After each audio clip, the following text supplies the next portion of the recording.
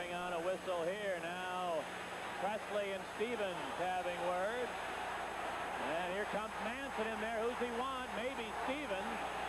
It is. Stevens and Manson head to the ice. They've both gone down, still trying to swing away at one another.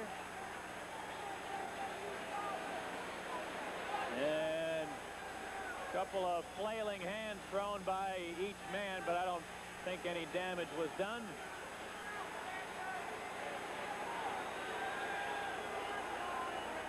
Now Manson over and hit Stevens with his helmet. Well, that's goofy. Well, he's lucky he didn't hit the linesman because that's a possible suspension if he hit the official with that. But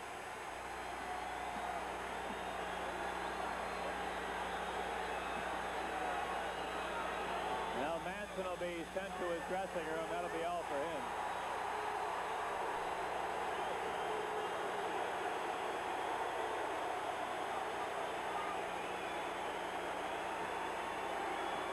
So penalties are on the way. With five and a half minutes left to go, it's Washington three, Chicago nothing.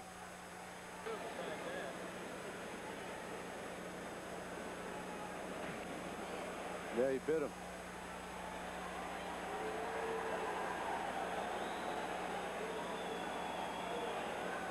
Well, Manson and Stevens getting involved after Presley and Stevens had words. Stevens had an altercation with Graham early in the period.